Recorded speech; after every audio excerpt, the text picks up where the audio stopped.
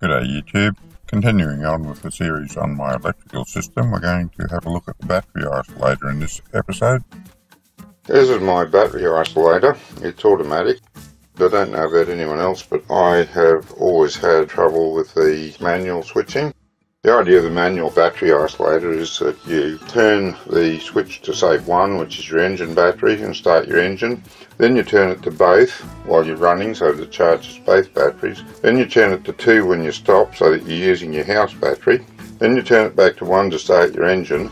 Then you turn it back to both while you're running. Then you turn it off when you get back to the ramp.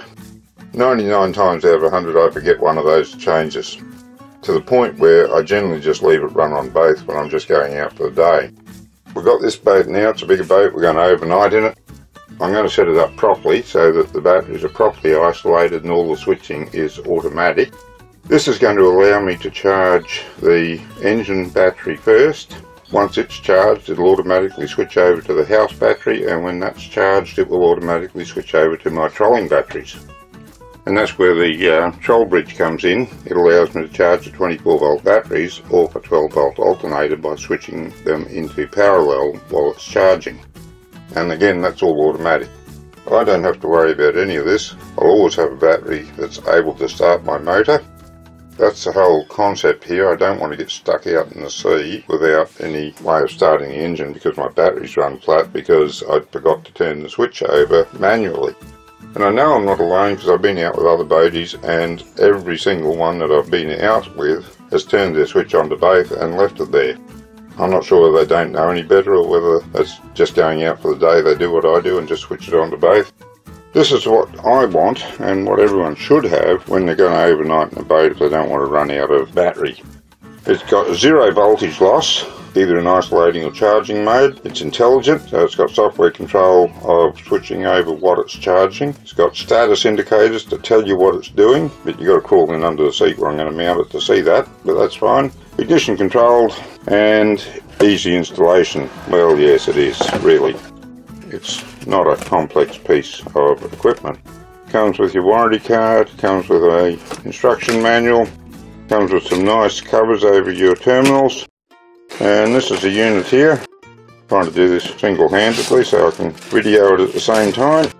And so I'm finding it a bit awkward. There we go, that'll do. So that's it there. You can see the status indicators there and it allows me to connect the motor positive there and three battery banks there one two and three I'm just going to set up the earth wire here to go and connect the 24 volt battery across to the 12 volt banks. Just check that the bolt hole's big enough in this terminal. And yes, here's good size. Probably should put a bit of the heat shrink on there first. This heat shrink's a bit big, but what I got, so it'll have to do. This heat shrink is, has got an epoxy glue inside it, so when it uh, shrinks down, the epoxy melts and forms a watertight seal. That's what we don't want to happen. One of those wires, a couple of those wires came out. Give them another twist up. That's better.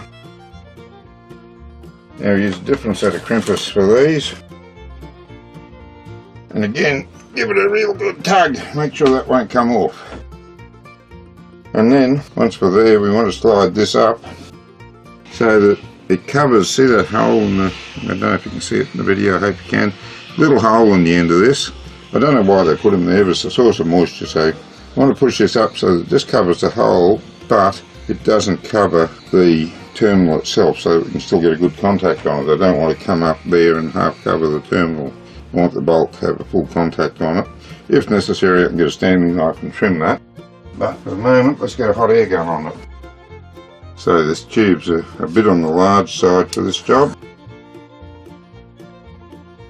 Once we're getting a bit snug there, I will have to trim it with the uh, Stanley knife.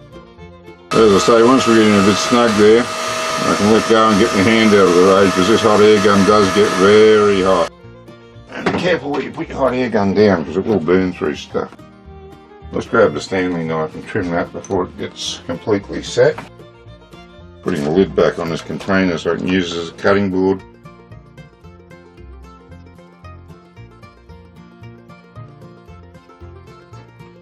Okay, well there you go. Nicely sealed up, all epoxied on, and no moisture is going to get into that. So there's nothing to corrode the wire, and that will last a lot longer. Now before I do the other end, I'm going to measure how much I need, because I want enough slack to be able to slide the batteries out, but I don't want that much, it's just wasted wire.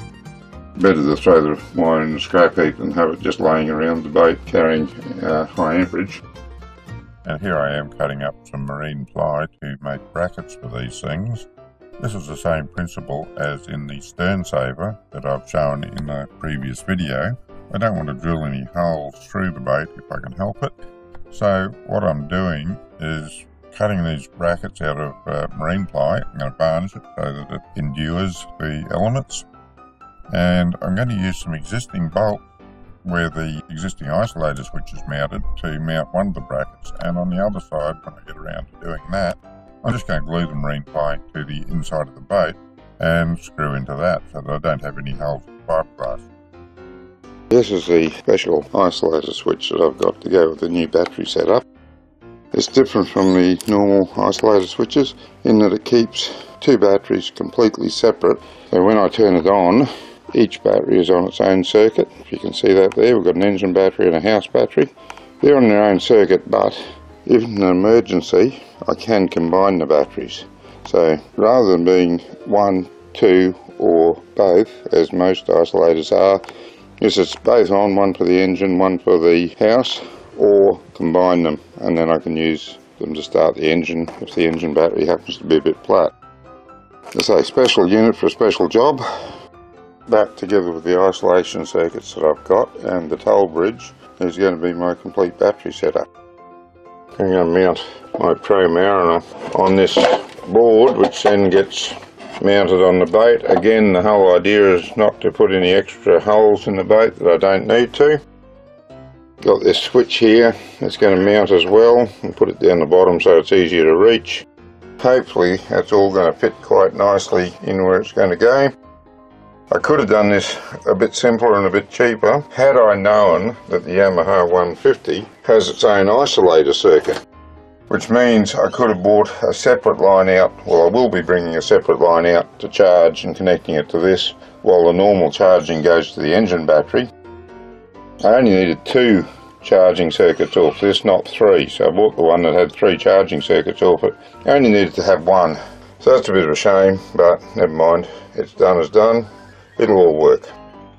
That's everything mounted on the board. The ProIsoCharge is mounted on the board along with the special isolation switch, which doesn't combine normally.